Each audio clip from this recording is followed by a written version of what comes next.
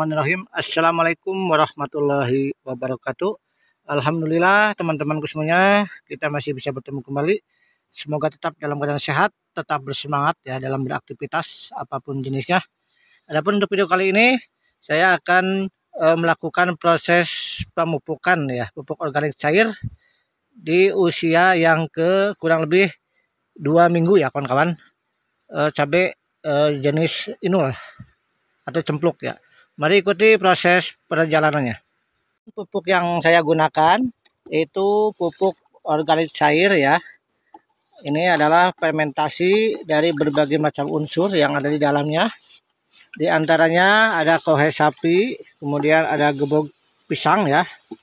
Kemudian ada air cucian beras, ada sedikit cangkang telur ya, eh, kemudian eh, kasih gula ya. Semua bahan-bahan tersebut dimasukkan ke dalam tong uh, kurang lebih selama dua bulan ya fermentasinya makin lama makin bagus. Uh, setelah itu baru kita lakukan uh, pengaplikasian ke tanaman ya.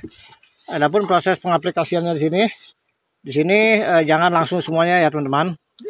Jadi uh, dicampur ya. Ini kurang lebih ukuran satu liter satu liter pupuk bisa menjadi kurang lebih 15 atau 20 liter ya.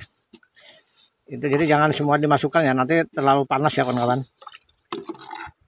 Ya aduk-aduk dulu ya biar merata baru dilakukan proses eh, pengecoran ya. Bismillahirrahmanirrahim. Kita lakukan proses pemupukan ya kawan-kawan. Pemupukan kita langsung aja di sini ya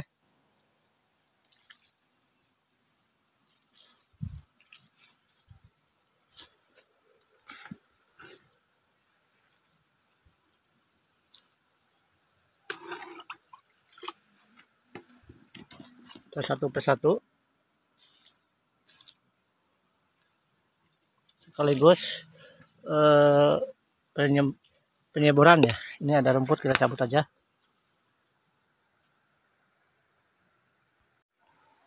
Ya oke satu persatu. Kita lakukan pemupukan ya. Dengan menggunakan campuran eh, dari kohe sapi atau kohe domba ya kawan-kawan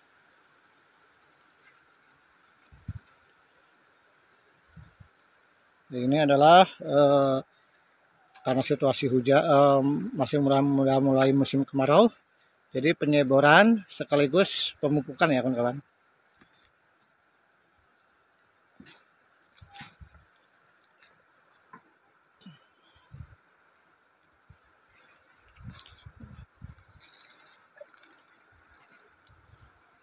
Nah, ini baru sekitar dua minggu ya mata? Ayah dua minggu ya. Kita belum melakukan proses pruning pucuk ya belum ya? Nanti ya.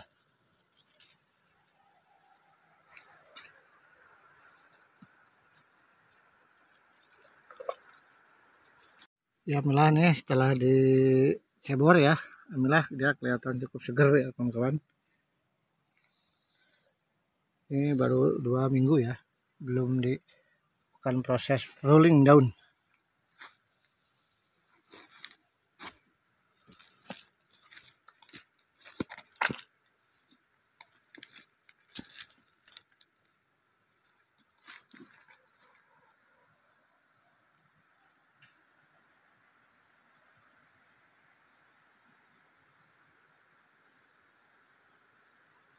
Ini adalah eh, cara teknik penanaman eh, cabai domba atau cabai inul dengan sistem eh, tumpang sari ya.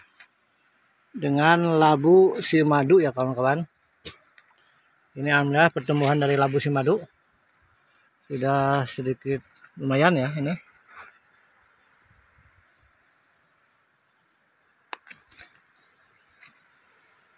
Sudah merambat ke tempat yang sudah disediakan.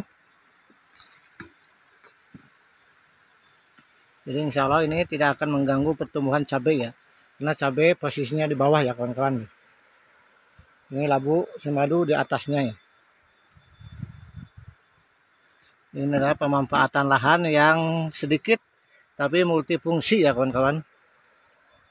Yaitu tumpang sari dengan labu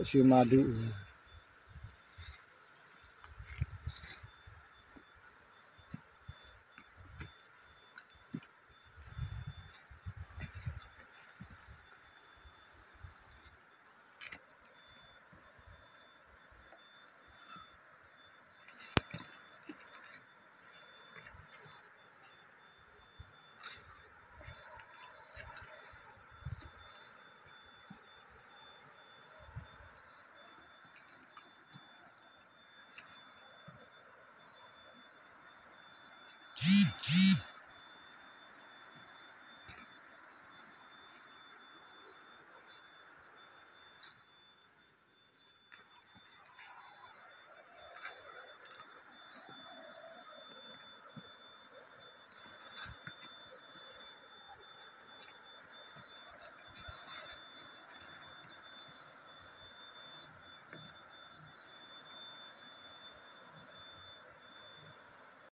madu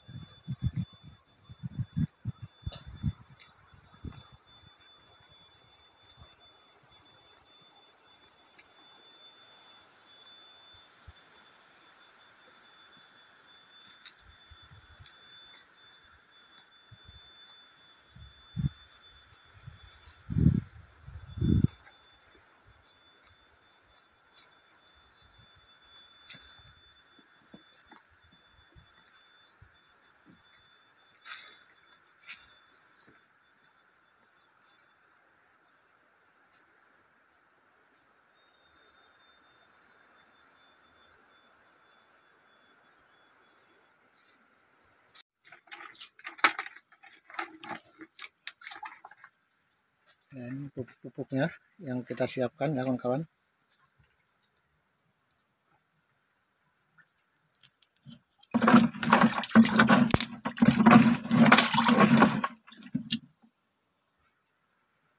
Ya, ini pertumbuhan yang sudah sekitar tiga minggu ya kawan-kawan. Ini telah dilakukan proses pruning daun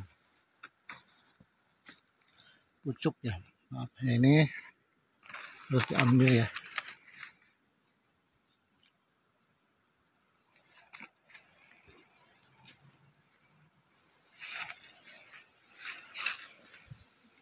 Ini pertumbuhannya alhamdulillah ya. Sudah mulai kelihatan.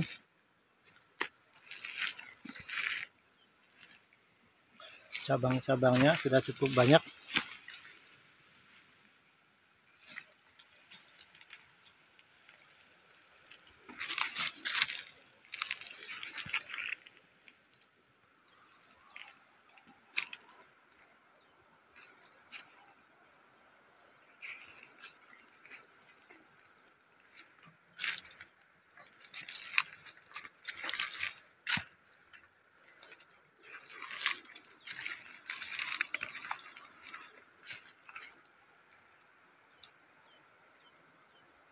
ini adalah manfaat dari uh, pruning pucuk ya.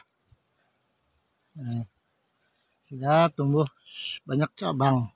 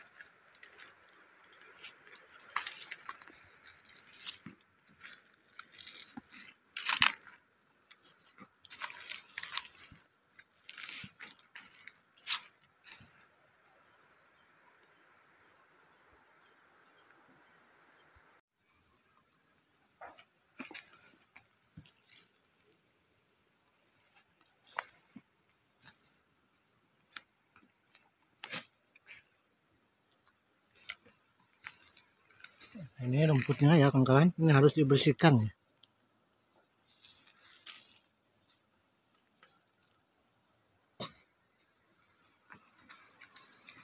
Ini kemarin sempat mati ya oleh belalang. Tapi alhamdulillah tumbuh lagi ya.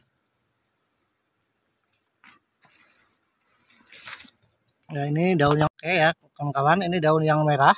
Ini mestinya di, di pruning ya. Ya ini daun yang sudah tua di aja. Biar nutrisinya nanti tidak dimubah lah istilahnya. Oke ya.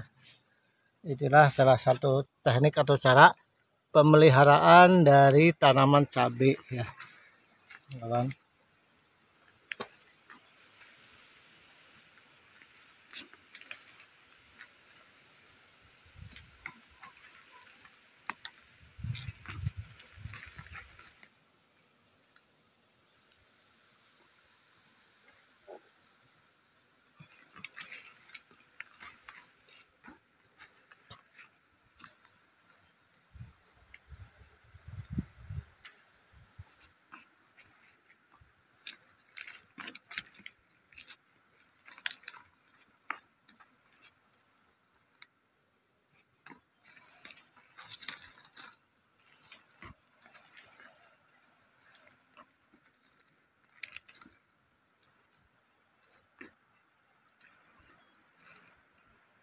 Alhamdulillah proses eh, pemupukan sekaligus penyeboran telah selesai dilakukan. Ya terima kasih kepada teman-temanku semuanya yang telah menyimak dan melihat video ini eh, dan like and comment. Semoga menjadi eh, amal ibadah ya buat kawan-kawan semuanya yang telah banyak membantu berkembangnya channel saya ini ya. Dan mohon maaf apabila ada kata atau perilaku yang kurang berkenan. Sekali lagi terima kasih. Wassalamualaikum warahmatullahi wabarakatuh.